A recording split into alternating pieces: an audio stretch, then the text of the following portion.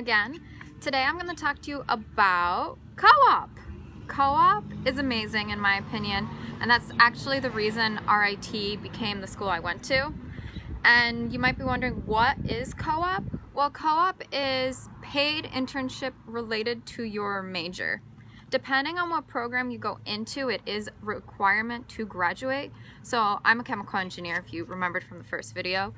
So as an engineering student, we are all required to go on 48 weeks of co-op. So that's why our program is a five-year program. However, don't worry, you're not paying tuition for those five years. The beauty of co-op is that when you go out onto it, you are not paying tuition. So I'm at RIT technically as a student for five years, but I'm only paying tuition for four of those years, so just as if I went somewhere else. Plus, when I go on co-op, I actually get paid, and the pay is really not bad. It, I would say it's good, actually. Uh, your first co-op, since you're sort of green, don't have the experience, it's typically a little bit less. Uh, when I say that though, you're still getting paid a good salary. Uh, you usually get like in the high teens, mid to high teens. You might end up in the low 20s and then it progresses up from there. Uh, for example, the highest co-op hourly rate within my program was, I think, $38 an hour the student was paid. That's not bad.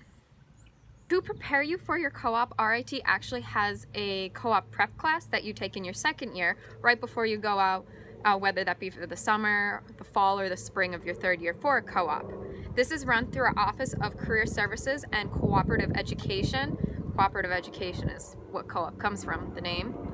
And I'll actually go and show you this building so you can see exactly where your advisor would be housed and where you could go for help. So let's go.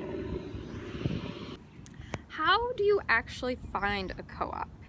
Well, I mentioned that we take a course in our second year where you learn how to apply for a job, write a resume, take a phone interview, decline an offer if you're lucky to get more than one, which does happen. And let me tell you, it can be stressful. We do host a career fair at RIT once every semester. We bring about 250 companies in.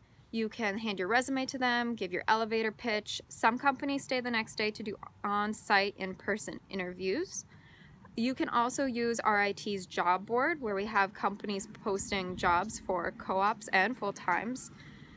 And you can just use any general uh, job search ads. So whether that be Indeed, LinkedIn, it's the student's job to find the co-op. Your advisor or academic advisor department might reach out to you and tell you about future jobs, but it comes to the student to actually be the one applying and securing the job. The general layout of co-op, if you're in a five-year program, is preparation class in your second year, and then you could start working the summer after your second year. The block, whether it be a spring or fall block for co-op, depends on your program. Some programs are a little bit more flexible and you can sort of choose which one.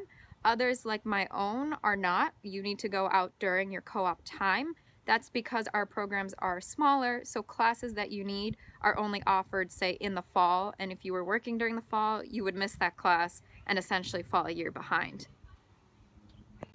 The fact that co-op is built into our program is fantastic. Yes, you could go to a four-year school elsewhere and make yourself your own co-op blocks, but the fact that our classes are built around co-ops uh, makes it much easier to apply for classes as well as it keeps you with your cohort of students. I don't know about you, but I don't want to come back my senior year and have all my friends graduated. So it's nice that you're all kept together and it's just easier for you on your schedule and just figuring things out because who wants their college experience to be more complicated than needed? Personally, I found my first job through the career fair at RIT. It's a company that traditionally comes onto campus and I applied through their website as well.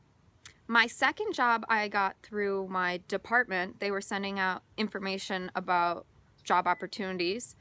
And my last job I got also through the school as a company that only hires co-ops and from RIT, so a direct connection. Typically the application process goes like this.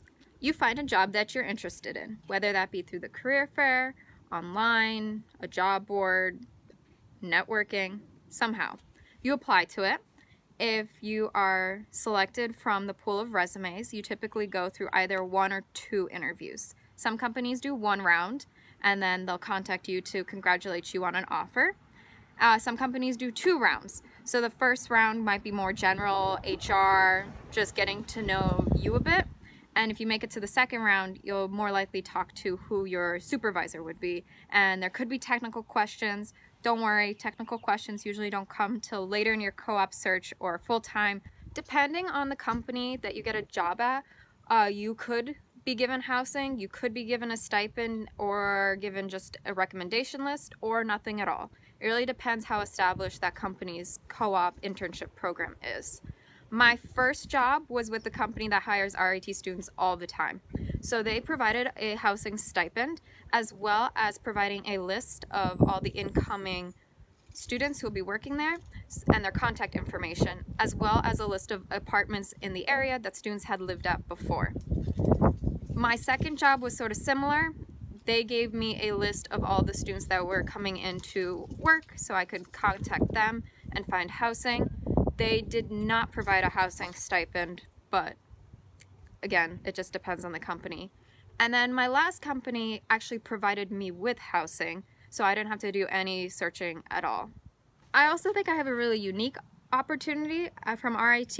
My last co-op was for a company that's actually based out of the UK. So I lived in England for a few months where I was working, so I had a visa and everything. So I learned how to go through that process, which Tell me how many students go through a visa process. Maybe as a student to travel and study abroad, but I was actually working abroad, which I think is even the better combo because now you actually have money to spend on the weekends and go explore. So I was able to spend those months traveling to different UK towns and cities each weekend and really made the most out of that opportunity.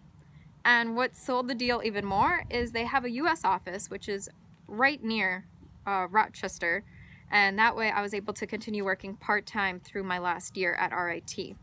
So that's another thing to know is some companies will even keep students on part-time when they're back in school if the student so chooses. So co-op can extend far past uh, the co-op block, whether that be part-time during the school year or full-time employment after graduation. This might sound silly, but co-op's also fun because your friends might not be near you wait, hold up. That doesn't sound fun at all. Until you now get to go visit them. So your friends might be spread out across the country, maybe more close, but still like a drive away. And now you have a person to go stay with and they've become a local of where they're living to show you around. So co-op gets to show you different parts of the country, but also lets you travel a bit if you stay connected and want to travel being a student who now has a full-time job and is not going to classes, I will say is a little strange, but you learn to love it. You are making real people money, as we like to call it, and that's very nice because now you also have the free time to spend it because you're not doing homework.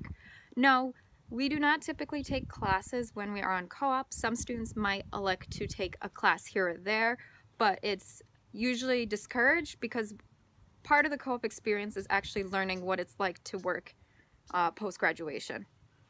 So you'll make a good amount of money, more than minimum wage and probably more than if you had just a typical student job. I'm thinking like a Uber driver, retail worker, grocery store worker. And a lot of students with the money that they earn uh, do come out positive, uh, so you don't lose money on co-op even if you are having to pay for all of your utilities, food, housing, uh, and transportation to and from work. So practically students will save up to help pay for their tuition and for their expenses when they come back to school. Students will also put it into savings and students will also use this for fun money. So you might go out on co-op and say, all right, my first month of co-op money I will save whatever is not spent on my monthly bills, I will use to buy the new video game that I really wanted, or the rollerblades, or the guitar, or the new sporting equipment. So it's really spent on whatever the student wants. I also think co-op provides a confidence to the students. You can't build confidence in the workforce while in the classroom. People in the classroom are your classmates who are about the same level as you are and your professor. Versus while you're out on co-op, you're going to be working with a mixture of uh, people at different parts in their career paths. Some more experienced, some newer. Some might be a new hire who's only a few months older than you. So it's a great place to learn how to communicate with different age group, different experience levels, and to also build your technical confidence and just confidence in general. I would definitely say co-op has helped me figure out what I want to do post-graduation, which you can't really get just sitting in a classroom. How do you know if you like to be upstream in a process or downstream in a process if you don't even know what that means or you don't even know what that looks like? What's also great about co-op is you learn different material while you're on the work site than what you learned in class, but you do use what you learned in class at the work site. And everyone has a different co-op experience, so when you come back to the classroom post each opportunity, you learn from each other and get to talk about what those experiences were like. It's also a great way to network because there are students going and working at all different types of companies. So as a fifth year, I'm interviewing right now for full-time positions. And what I thought was really cool is I was talking to a biotech company and I've worked in biotech as one of my co-ops. So I thought that when they asked me questions I would be referencing that one co-op particularly. I pulled from all of my experiences. Sometimes it was easier to answer a question based off a project that I did at a different company. So even though you might have a job while in school that doesn't quite align with what you want to do, you can still get opportunities and experiences and knowledge from it that will help you later on. So the reason that co-op attracted me to RIT was the opportunities that I would get through it. So before I came here, I thought co-op will be a great time to try different industries, get some working experience, and also make some money while still in school. After having done all my co-op blocks, since I'm a fifth year now, I can definitely say that's true. So I've worked three different co-ops They've all been in different industries and they've all been in different parts of the world. So by taking those different opportunities, each of them has taught me something different. And it's not just what I learned in industry either. So for example, I've lived in a more urban setting and I've lived in a smaller town setting, sort of figuring out how I like to live.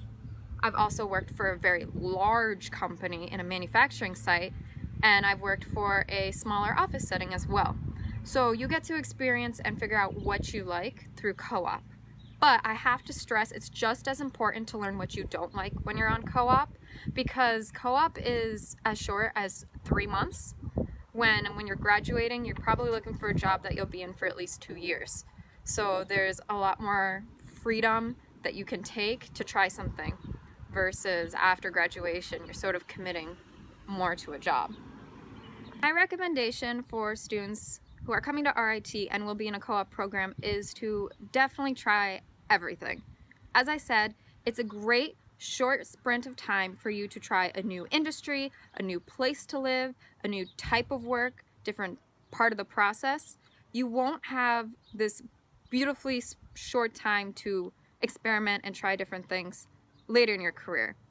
Later on, you're going to be stressed about job stability, where are you going to live? Maybe you'll have a family in the near future. Maybe you want a dog and you don't want to move your dog around all the time, or a cat, or whatever kind of pet. Right now, you're more independent and you can do really whatever you want to do. So a big difference between an RIT grad with co-op experience versus a college grad from a different school is how much experience we're going to get before we graduate, as well as the exposure to certain programs, procedures, just how a company operates. I've had many companies look at my resume and say, wow, you've worked so many different industries before you graduated, or, oh, you know how to use this program because I had a co-op where the company used it, which I wouldn't have got in a school setting because you don't use that program at school either. So just the experiences that you get while on co-op can definitely help you secure your full-time position afterwards. Thanks for tuning in, guys. It was fun to talk to you about co op as it is my favorite part about RIT. I've loved all my experiences and I hope that you guys will too. But just a note, it is also important if you don't like it to understand why you don't like it and not to make that mistake when you go out full time. I've put up the resources so you can look more into co op on your own time, and I hope to catch you in the next video. Bye!